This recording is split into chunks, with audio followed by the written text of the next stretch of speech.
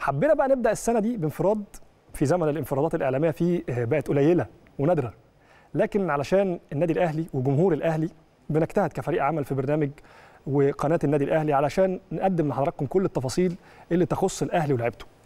النهارده هنستعرض في 7 دي سبورت التقرير الفني للفيفا عن فريق النادي الأهلي ولاعبيه في كأس العالم للأندية. لو سألت أي حد عن أقوى مباراة في كأس العالم للأندية في 2023 وأنت مغمض عينيك كده هيبقى الأهلي واتحاد جدة وفوز الأهلي الكبير 3-1 ومش بس عشان النتيجة الكبيرة لكن عشان المباراة كانت أحداثها فيها إثارة وندية كبيرة جدا بين الفرقتين لكن حسمها الأهلي وتفوق فيها في كل التفاصيل. على اتحاد جدة بكتيبة نجومه زي بنزيما وكانتي وفابيينو وغيرهم من اللاعبين الكبار جدا يعني. بس قبل ما نستعرض تقرير الفيفا بالتفاصيل لازم نوضح إيه هي اللجنة الفنية للفيفا وتفاصيل, وتفاصيل عملها. اللجنة دي بيرأسها واحد من أساطير التدريب على مستوى العالم. هو الفرنسي أرسن فينجر المدير الفني التاريخي لنادي أرسنال الإنجليزي وبتضم في عضويتها فريق تحليلي فني عالي جدا على أعلى مستوى سواء في الأسماء أو الكفاءات الفنية. واللجنة دي بتتكون أو أو بتكون منوطة بعمل تقارير أو تحليل فني لمباريات بطولات الفيفا كلها سواء كأس العالم للمنتخبات بمختلف مراحله السنية أو كأس العالم للأندية وبعض الأسماء في اللجنة دي بتتغير لكن في أسماء ثابتة زي أرسن فينجر طبعا رئيس اللجنة والمسؤول عن تطوير عن التطوير الفني في الفيفا طبعا. كمان أسماء تانية ثابتة وهو الاسم الثاني الثابت هو السويسري باسكال توسيبي. وده أحد أهم خبراء الفيفا في التحليل الفني وكان حارس مرمى سابق لمنتخب سويسرا وأندية زي ليفركوزن زي ليفركوزن الألماني ووست بروميتش الإنجليزي وجراسهوبرز وبازل في سويسرا و في كأس العالم للأندية كان بيساعد في التحليل الفني كمان كريستيان جروس المدرب السويسري الشهير بخلال فريق فريق تحليلي مكون من مجموعة أوروبية رفيعة المستوى. ولما تتكون لما تتكلم عن الفيفا كده وأنت مغمض عينيك كده نروح لواحد من زمايلنا العزاز جدا وهو رئيس تحليل البرنامج عمر البنوبي اللي كان متواجد في مباراة الأهلي واتحاد جدة والتقى ب رئيس فريق التحليل الفني في الفيفا. وكمان حصل على نسخة من التقرير الفني في المباراة والتي واللي هنستعرضها دلوقتي زي ما حضراتكم هتشوفوا معانا يعني. عمر البنوبي أحد الناس الشاطرة جدا جدا جدا في الوصول للحاجات النادرة جدا يعني.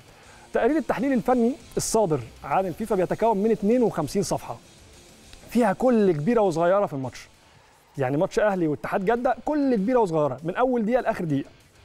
أرقام مفصلة عن كل مواقف اللعب وكمان أرقام مفصلة على لاعبي الأهلي.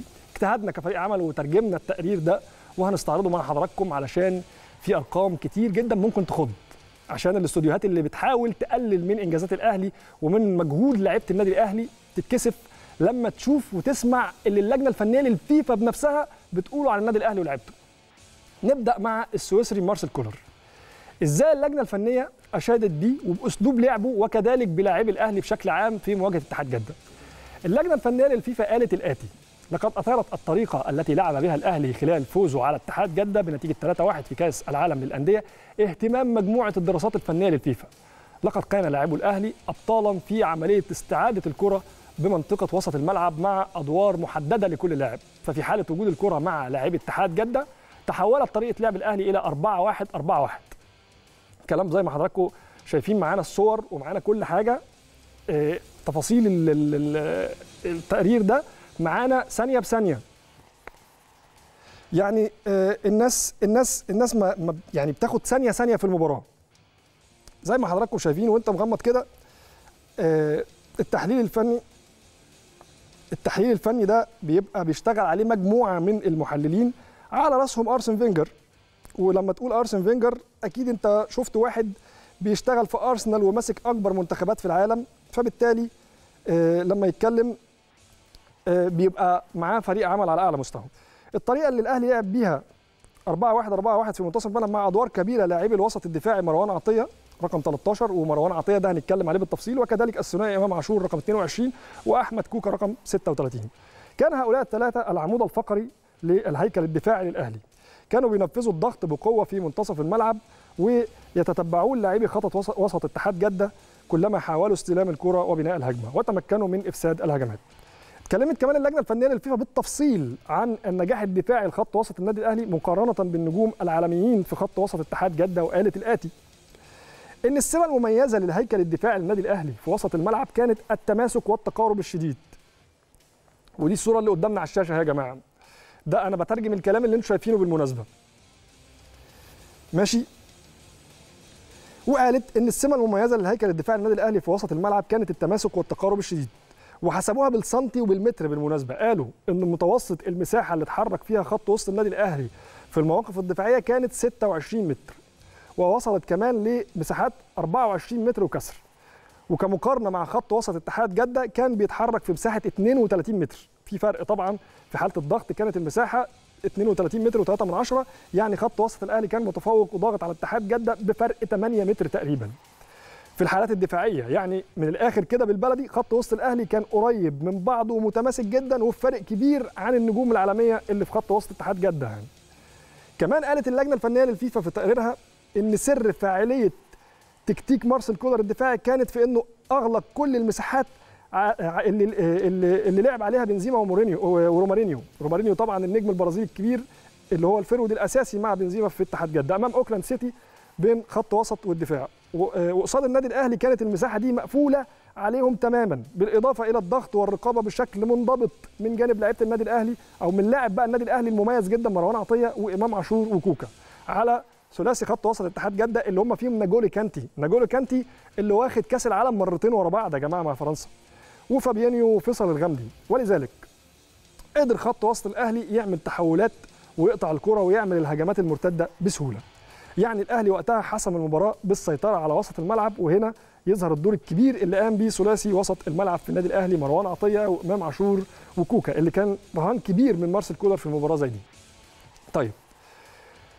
كريستيان جروس قال إيه بقى في تقييمه للأهلي؟ كريستيان جروس قال إن الأهلي فاجئ أصحاب الأرض بأسلوبه من خلال السيطرة على منطقة وسط الملعب وممارسة الضغط العالي على لعيبة اتحاد جدة وكلما حاول لاعبي الفريق السعودي النزول بين الخطوط لاستلام الكرة فوجئوا بالضغط الكبير من لعيبة الأهلي.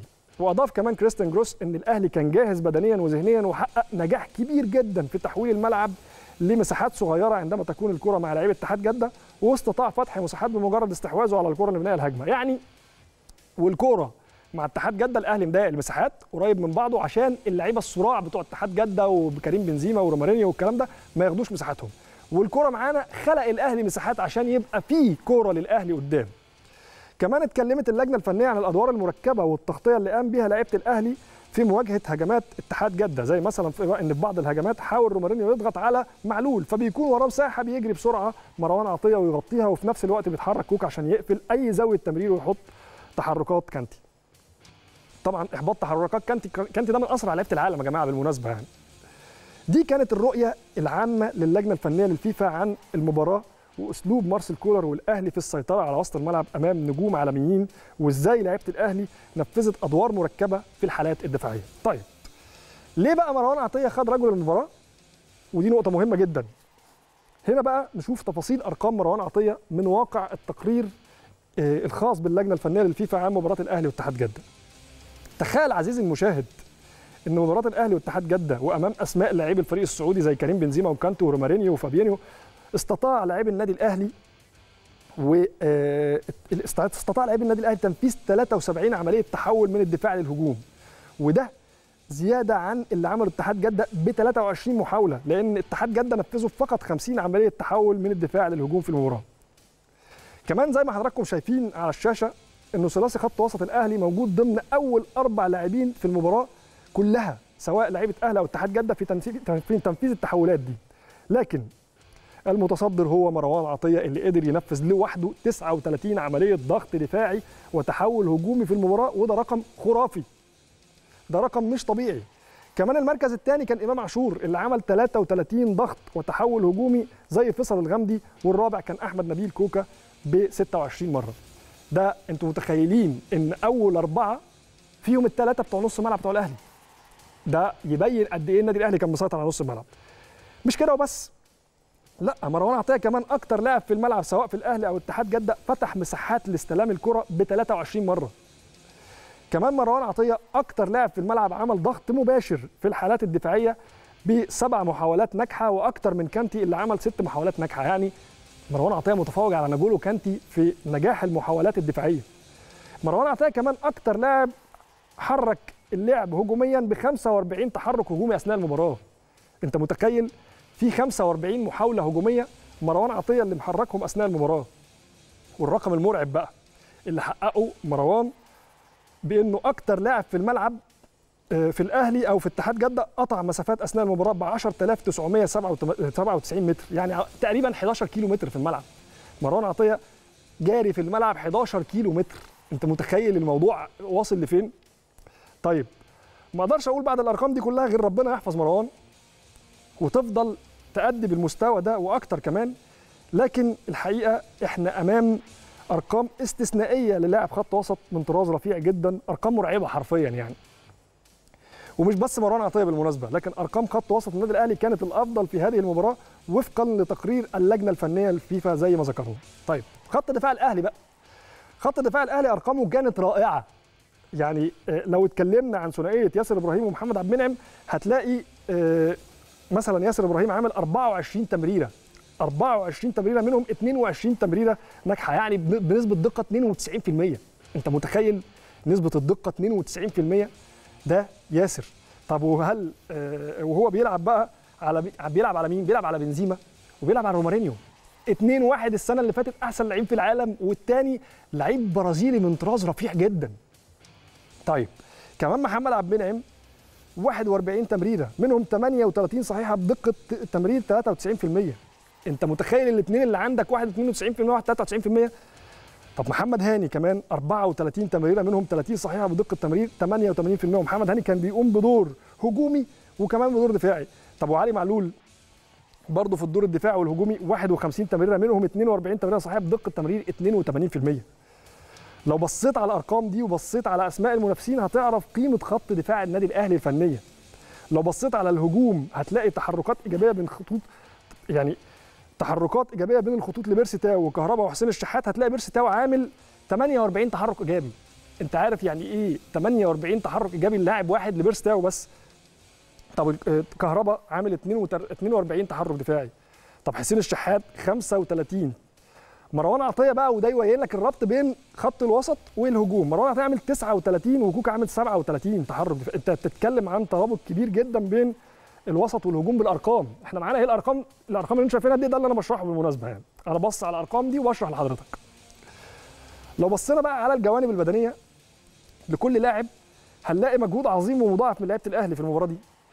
يعني زي ما قلنا مروان عطية أكتر لاعب جري في الملعب بمسافة 11 كيلو متر هنلاقي كمان بقى المفاجأة اللي لازم تاخد حقها ولازم نتكلم فيها ونديها حقها 100% علي معلول اللي بعض الناس بتقول إنه أصله كبر أصله لازم خلاص ده يبقى آخر عهد ليه. هو تاني أكتر لاعب قاطع للمسافات في الملعب بعد مروان عطية بما يقرب من 10 كيلو متر كمان وراه مين؟ أحمد حسن كوك. أحمد حسن كوكا ما يقرب من 10 كيلو متر هو كمان. ثم مين؟ ثم اللي اتظلم في المنتخب ثم أراد الله أن يرد له حقه. ياسر ياسر إبراهيم ب 9 كيلو متر ووراه بيرسي تاو بنفس المسافة تقريبا. دي أرقام استثنائية. دي أرقام يا جماعة مش عادي مش عادي ابدا إن أنت توصل للأرقام دي قصاد النجوم اللي أنت بتلعبها دي كلها. المحترفين اللي في اتحاد جدة يخوفوا. أنت بتتكلم على الثلاث خطوط بتاعتك عاملين أميز أرقام في المباراة. لما خط الدفاع بيلعب على بنزيما وبيلعب على رومارينيو ونص الملعب اللي قدامه مين؟ فابينيو وكانتي. فابينيو وكانتي وقدامهم رومارينيو وبنزيما. وخط الدفاع بتاعك متماسك التماسك ده كله والجون اللي يجي فيك يجي من ضربة جزاء. هنتكلم بقى عن الشناوي في موضوع ضربة الجزاء ده اللي هو أيضا أرقامه مميزة وهتبقى معانا على الشاشة دلوقتي. لما تيجي تقارن حارس اتحاد جدة بالشناوي أدي الأرقام وأدي ال- الرسم الحراري بتاعهم والرسم البياني بينهم. الخريطة اللي إحنا شايفينها دي لمساهمات الشناوي في اللعب واستخدامه الرجل وإيده في اللعب. في حين إننا لو هنقارن آه، الشناوي مع حارس اتحاد جدة المعيوف طبعا هنلاقي مش. مش بنفس الكفاءة زي ما الخريطة موضحة الشناوي استثنائي بكل ما تحمله الكلمة من معنى والخريطة قدام حضراتكم أهي ومش بس عشان الش- الشناوي اتصدى ضربة جزاء كريم بنزيما لأ كانت نقطة تحول حقيقية في المباراة طبعا وغيرت مسار المباراة وخلت الأهلي يحافظ على تقدمه لكن كمان لأنه تعرض لاختبارات قوية في هذه اللقاء وزي ما بنشوف كمان دلوقتي دي خريطة تدخلات الشناوي في اللعب مقارنة بالمعيوف. شايفين الخط البياني موضح إن الشناوي كان فعال جدا في التعامل مع الكرات اللي جت على مرماه. ملخص التقرير بقى إن لاعبي الأهلي ومدربهم مارسيل كومر بالأرقام المفصلة تفوقوا في كل شيء على نجوم الملايين والمليارات. أثبتوا إن هم الأفضل في آسيا وفي أفريقيا بلا منازع بلا منازع. وكملوا التفوق ده أمام أوراوا الياباني وأحرزوا البرونزية. التقرير والأرقام المرعبة دي محتاجين يتبروزوا في مسيرة لعب الأهلي. التقرير دي محتاجين شوية إنصاف من الاستوديوهات التحليلية. الاستوديوهات التحليلية اللي كانت ما بتنصفش حد منهم. ومفيش إنصاف لياسر إبراهيم أكتر من كده. يعني ده إحنا عندنا أفضل لعيبة في مصر وفي أفريقيا ومن أحسن لعيبة العالم وده شفناه في كأس العالم للأندية. مش في بطولة أي كلام لا ده في كأس العالم للأندية. البطولة اللي فيها أحسن أندية في العالم. يمكن تلاحم البطولات وضغط المباريات وخروج الأهلي من السعودية على الإمارات والتتويج بالسوبر خلونا ننسى بسرعة فرحة كأس العالم للأندية. لكن لا لازم ندي كل واحد حقه وكل وكان لازم جمهور الأهلي يعرف لعيبته عملوا إيه.